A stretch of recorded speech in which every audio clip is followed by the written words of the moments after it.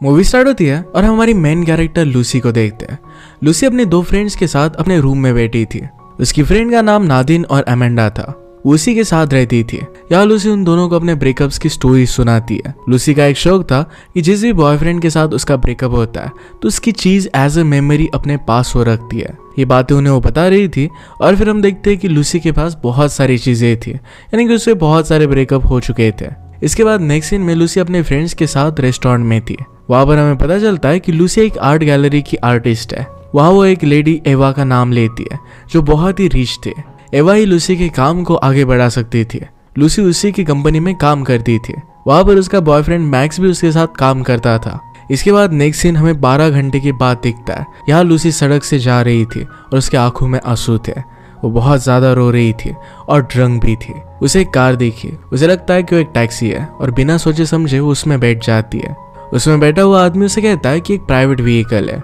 Lucy बहुत ही ज़्यादा drunk थी तो उसे कहती है कि मेरा प्राइवेट ड्राइवर बनकर इस कैब को स्टार्ट कर दो। वो आदमी उसे बहुत समझाता है, पर अपनी नशे की हालत में वो कुछ भी समझती नहीं। यह हमारा और एक मेन कैरेक्टर है, और इसका नाम है निक वो फिर उसके साथ हुआ क्या था, ये निक को बताने लग जाती है। पास में हम देखते हैं कि लूसी का प्लान था कि वो एड गैलरी ओपन करेगी। वो अपने बॉयफ्रेंड मैक्स के साथ रहना चाहती थी। मैक्स उसे उसके काम में पूरी मदद करेगा। रात में फिर एक पार्टी हुई और अपने ऑफ़िस की तरफ़ से वो एक स्पीच देती है। स्पीच में वो बहुत ही अच्छे से बात कर रही थी, पर तभी वो मैक्स को किसी दूसरी लड़की के साथ देखती है। ये देखकर वो जरा डिस्टर्ब हो गई और उल्टी सीधी बात करने लग गई। बात करते करते वो वहाँ पर गिर भी जाती है। इसके बाद मैक्स उसके पास आता है। उसे पूछती है कि वो लड़की कौन थी? वो कहता है कि उस लड़की का नाम अमेलिया है। वो मेरी एक्स गर्लफ्रेंड है। वो अब वापस आ चुकी है। ये सुनकर लूसी को बहुत ज़्यादा बुरा लगा। उनका यहाँ पर ब्रेकअप हो जाता है, क्योंकि मैक्स अभी भी अमेलिया से प्यार करता था। मैक्स उसे कहता है कि एवा ने तुम्हें काम से निकाल दिया है। एवा नहीं चाहती कि तुम फिर से उसके लिए काम करो। ये सब सुनने के बाद लूसी वहाँ से निकल जाती है। इसके बाद उसका घर आ गया। लूसी ने कैब ऑर्डर की थी और उसे अपने कैब ड्राइवर एडोल्फ का कॉल आता है। उसे भी रियलाइज़ होता है कि वो एक स्ट्रेंजर के कार में है और वो बहुत ज़ोर ज़ोर से चिल्लाने लग गए। निक उसे कहता है कि तुम जब चाहे जा सकती हो, कार वैसे भी अनलॉक है। इसके बाद वो वहाँ से चली जाती है। वो घर आई और वहाँ पर उसके रूममेट्स उसे सहारा देते हैं। नेक्स्ट डे उसकी फ्रेंड उसके साथ निक की टाई देखती है। लूसी एज ए मेमोरी उस टाई को रख रही थी, जैसा वो हमेशा करती है। अमेंडा ने उसे इन चीज़ों को फेंकने के लिए कहा, पर वो ऐसा नहीं करने वाली। इसके बाद नेक्स्ट सीन में उस सामान को एंटिक शॉप में लेकर जा रही थी, ताकि उसे सेल कर सके, पर उसे मना कर देते हैं। इसके बाद वो अपना सामान उठाकर चली जाती है। जाते हुए एक रेस्टोरेंट में मैक्स और अमिलिया को देखती है। उसे उससे बात करनी थी, इसलिए वो रेस्टोरेंट में जाने लग गए, पर वहाँ की मैनेजर उसे अंदर जाने से रोक लेती है। उसके हाथों में एक थ्रैश बैग था, और थ्रैश बैग लेकर वो रेस्टोरेंट में किसी को भी अलाउ नहीं करते थे। ये सब जब चल रहा था तो मैक्स भी उसे देखता है, पर उसे इग्नोर कर देता है। वही बार पास में निक बैठा था। वो निक को भी हाई करती है। उसे देख कर वो बाहर आ जाता है। वो निक को फाइनली अपना नाम बताती है। वहाँ पर एक लेडी उन्हें देखती है और उसे लगता है कि निक लूसी को परेशान कर रहा है। इसलिए उसके पीछे पड़ गए। उसे हिट करती है, पर इसके बाद निक और लूसी साथ में जाने लगते हैं। निक फिर उसे एक शेड में लेकर आता है। वो एक बहुत बड़ा शेड था। यहाँ निक उसे कहता है कि तुम पागल हो। वो कहती है कि तुम ऐसा क्यों कह रहे हो? निक कहता है कि तुम खुद ही देखो। तुमने अपने एक्स के सामान को कलेक्ट किया है। ऐसा कौन करता है? वो कहती कि मैंने ये सब एज अ प्यार की निशानी कलेक्ट किया है। यानी कि उसके हाथ से मैक्स की टाई लेता है और उसे अपने वॉल पर लगा देता है। उसे कहता है कि इस टाई को तुम कभी भी देख सकती हो। लूसी को यह सब बहुत पसंद आया। तो उसे एक मार्कर मांगती है। इस मार्कर से उसने मैक्स के साथ जो पल बिताए थे, इसके बारे में कुछ लिखती है। इसके बाद वो इस वॉल को नाम देती है ब्रोकन हार्ट्स गैलरी इसके बाद नेक्स्ट सीन में लूसी अपने घर पर थी। मैक्स आकर लूसी को अपने साथ लेकर जाता है। उसे और एक चीज़ दिखाता है। कोई अपनी प्यार की निशानी वहाँ पर छोड़ कर गया था। ये देखकर लूसी बहुत खुश थी। लूसी उसे कहती है कि तुम्हें यहाँ पर एक आर्ट गैलरी ओपन करनी चाहिए। यहाँ पर बहुत सारे ब्रोकन लोग अपनी मेमोरीज छोड़ने के लिए आ सकते हैं। बाकी लोग इसे देखने के लिए आएँगे। वो इसके लिए मना कर देता है, क्योंकि उसे यहाँ एक होटल खोलना था। इसके बाद वहाँ पर उसका फ्रेंड मार्कस आता है, जो लूसी से एग्री कर रहा था। लूसी उसे जिद कर रही थी तो निक को उसकी बात माननी पड़ती है। वो फिर इस वॉल का एक फ़ोटो लेकर सोशल मीडिया पर अपलोड कर देती है, जो वायरल हो गया। वायरल होने के बाद लूसी को बहुत अच्छा लगा। वो निक के शेड में जाती है और वहाँ पर वो निक और मार्कस को कॉफ़ी देती है। वहाँ पर तभी एक लेडी आई। वो अपनी बॉयफ्रेंड की निशानी लेकर आई थी। उसे उस गैलरी में रखना चाहती थी। लूसी ने उसका इंटरव्यू लिया। वो फिर उस मेमोरी को अपने पास रख लेती है और कहती है कि जब तुम चाहो, तभी देखने के लिए आ सकती हो। इसके बाद हम देखते हैं कि लूसी और निक का बॉन्ड अब गहरा होता जा रहा था। वो साथ में बहुत सारी अलग अलग जगह पर घूमते थे शॉपिंग करते थे। एक दिन उन्हें कबाड़ में एक सोफा मिलता है, जो हमने साथ वो लेकर गए। ले जाते जाते वो थक जाते और वहीं पर बैठ गए। लूसी उसे उसके बारे में पूछती है। उसे कहता है कि पास में मैं मेरी ग्रैंड मदर के साथ रहता था। ग्रैंड मदर की फिर डेथ हो गई। उसके लिए बहुत सारे पैसे छोड़ गई थी। उन पैसों से वो ग्रैंड मदर के नाम का होटल बनाना चाहता था, पर फिर भी उसके पास थोड़े से पैसे कम थे। इसके बाद हम उन दोनों को बुक शॉप पर देखते हैं। वहाँ पर लूसी मैक्स को देखती है। मैक्स अपनी एयरपोर्ट की केस शॉप में ही भूल गया था जिसको रिटर्न करने के लिए खुद जाती है। यहाँ मैक्स को अमिलिया के साथ देखते हैं, और इसके साथ वो बहुत ही खुश था। लूसी को देखकर मैक्स कुछ खास रिएक्शन नहीं देता। मैक्स उसे अमिलिया से मिलवाता है। ऐसा लग रहा था कि लूसी को पूरी तरीके से भूल गया था। वहाँ पर निक भी आया।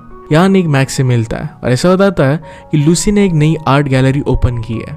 मैं उसका असिस्टेंट हूँ। लूसी अभी तक मूव ऑन नहीं कर पाई थी।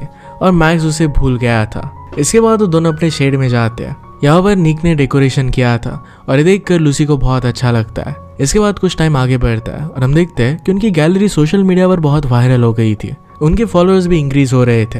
अपनी मेमोरीज रखने के लिए बहुत सारे लोग वहाँ पर आते थे। इसके बाद एक दिन अमेंडा का बर्थडे आता है। सब लोग मिलकर इसे सेलिब्रेट करते हैं। वहाँ पर लोगों ने गाने भी गाए। लूसी और निक बात कर रहे थे। लूसी उसे खुशखबरी देते हुए बताती है कि हमारी गैलरी मैगजीन में छपी है। सुनकर वो दोनों बहुत खुश थे। इसके बाद उन दोनों की गाने की बारी आती है। निक इस बात के लिए मना कर रहा था, क्योंकि उसे गाना आता नहीं था। पर लूसी उस पर ज़ोर डालती है तो उसे मना नहीं कर पाता। वो दोनों फिर गाना गाते हैं। इसके बाद निक जाकर मार्कस के पास बैठता है। मार्कस उसे कहता है कि, आज से पहले मैंने तुम्हें इतना खुश कभी नहीं देखा। जब भी वो लूसी के साथ रहता है तो हमेशा बहुत खुश होता है। वो लूसी से प्यार करने लग गया था। निक उसे ये सब बातें करने से चुप करता है। इसके बाद लूसी अपने फ्रेंड्स के घर पर जा रही थी, तभी उसे रास्ते में मैक्स मिला। मैक्स उसे बात करना चाहता था। लूसी ने अपने फ्रेंड्स को घर भेज दिया और उससे वो बात करने लग गए। मैक्स उसे सॉरी कहता है और कहता है कि उसने सबसे बड़ी गलती कर दी है। वो कहता है कि मुझे तुम्हें छोड़ना नहीं चाहिए था। मुझे बहुत बुरा लग रहा है। वो फिर से उसके साथ पैचअप करना चाहता था। हम जानते हैं कि लूसी के फ़ेमस होने के बाद उससे मिलने के लिए आया वो यहाँ भी अपने ही बारे में सोच रहा था। वो दोनों बात कर रहे थे, तभी वहाँ पर नीक आता है। वो इसके लिए केक लाया था। उन दोनों को साथ में देखकर वो वहाँ से चला जाता है। वो दोनों फिर एक जगह पर बैठे वहाँ मैक्स उसे उसकी आँखें बंद करने के लिए कहता है। इसके बाद उसे वही टाई देता है और कहता है कि उस वॉल से निकाल कर मैंने लाई है। हमारा रिलेशन अब तक खत्म नहीं हुआ है। ये सुनकर उन दोनों का पैचअप हो जाता है। इसके बाद नेक्स्ट डे वो निक के पास जाती है। वो बहुत ही उदास था। उससे कहता है कि हमें आर्ट गैलरी बंद करनी पड़ेगी, क्योंकि मुझे बैंक से लोन नहीं मिल रहा। लूसी ऐसा नहीं करना चाहती थी, पर उसे करना पड़ता है। वो उदास थी और फिर भी उसे लग रहा था कि इसे कंटिन्यू रखना चाहिए। मैक्स से बात देखकर उसकी मदद करता है और उसे एवा से मिलवाता है। एवा उसके काम से बहुत ही इम्प्रेस थी और इसी वजह से उसे एक एग्जीबिशन के लिए रेडी करती है। रात में अपने फ्रेंड से मिलने के लिए गई उनसे वो ब्रेकअप की टिप्स मांग रही थी, क्योंकि अब वो मैक्स के साथ ब्रेकअप करना चाहती थी। इसके बाद नेक्स्ट डे वो मैक्स के पास गए। उसे पूछती है कि, अमेलिया और तुम्हारे बीच में हुआ क्या था? मैक्स कहता है कि तुम्हें जानना क्यों चाहती हो? वो कहती है कि, मुझे सिर्फ़ जानना है। मैक्स कहता है कि मैं उससे बहुत प्यार करता था। उससे शादी करना चाहता था। अमेलिया इस कमिटमेंट के लिए रेडी नहीं थी।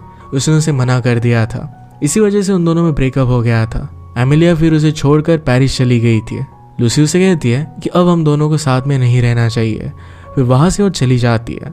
इसके बाद लूसी को हम उसके रूम में देखते हैं। उसके पास निक आता है और उससे माफ़ी माँगता है। वो उसे कहता है कि मुझे अब लोन मिल चुका है। ये सुनकर वो बहुत खुश हो गई थी। वो उसे कहती कि मुझे भी एवा के एग्जीबिशन में हमारी आर्ट गैलरी को लगाने का मौका मिल गया है। ये सुनकर दोनों बहुत ही एक्साइटेड थे। वो कहती कि आज तक मेरे लिए कोई भी इतना खुश नहीं हुआ था। इसके बाद वो दोनों मिलकर होटल की हालत ठीक करते हैं। इसके बाद वो साथ में बैठे वो निक से पूछती कि क्या तुम कल फ्री हो? निक उसे कहता है कि हाँ। वो उसे कहती कि मैं तुम्हें किसी से मिलवाना चाहती हूँ। इसके बाद अगले दिन लूसी उसे अपनी मदर से मिलवाने के लिए लेकर गई। उनसे मिलकर उसे बहुत अच्छा लगता है। इसके बाद वो एक पियानो बजाता है। जिस पर लूसी और उसकी मदर डांस करते हैं। रात में दोनों साथ में थे। निक उसे एक जगह दिखाने के लिए गया, जहाँ पर उसका एक छोटा सा प्राइवेट बार था। वो दोनों मिलकर ड्रिंक करते हैं। वो दोनों बहुत खुश थे और एक साथ इंटीमेट हो जाते हैं। सुबह लूसी निक से पूछती है कि तुमने तो कहा था कि हम दोनों सिर्फ़ दोस्त ही निक कहता है कि हम दोस्त से बढ़कर है। इसके बाद लूसी अपने फ्रेंड्स के साथ थी। उसे निक का कॉल आता है। निक उसे सरप्राइज़ देना चाहता था। वो फिर निक ने उसे जो जगह बताई थी, वहाँ वो उसका वेट करती है। वो जब वेट कर रही थी तो होटल के अंदर से निक एक लड़की के साथ बाहर आता है। उस लड़की का नाम क्लोए था। निक के होटल का नाम भी क्लोए ही होता है। ये देखकर समझ आती है कि निक ने अपनी एक्स गर्लफ्रेंड के नाम पर होटल रखा था। ये देखकर वो गुस्से में वहाँ से जाने लग गई। निक उसे रोकने की कोशिश करता है, पर वो नहीं रुकती थोड़े टाइम बाद निक उससे मिलने के लिए घर पर आता है। वो वहाँ भी नहीं थी। उसके फ्रेंड से उसके बारे में पूछ कर उससे मिलता है। वो लूसी से कहता है कि वो मेरी एक्स थी। मुझे ऑर्डल का नाम चेंज करना था, पर पैसे ना होने की वजह से वो मैं कर नहीं पाया। लूसी उसे कहती कि ये बात ठीक है। वो अब भी उससे नाराज़ थी तो निक वहाँ से चला जाता है। इसके बाद लूसी को हम काम करता हुआ देखते हैं। वहाँ पर उसके पास एवा आती है। वो उसे कहती कि मैं इतनी सक्सेसफुल ऐसे ही नहीं बनी। मेरे हस्बैंड ने मेरे साथ ब्रेकअप कर लिया था। उसके मेरी लाइफ से जाने के बाद मैंने उसकी रिंग को सेल कर दिया। इससे उसे बहुत सारे पैसे मिले थे, और इसी से आर्ट गैलरी उसने ओपन की थी। और ये आर्ट गैलरी बहुत सक्सेसफुल हो गई। अगर मैं मेरे हस्बैंड के बारे में ही सोचती रहती और सैड हो जाती है तो इतना सक्सेसफुल कभी भी हो नहीं सकती। ये सुनकर लूसी को अच्छा फील होता है।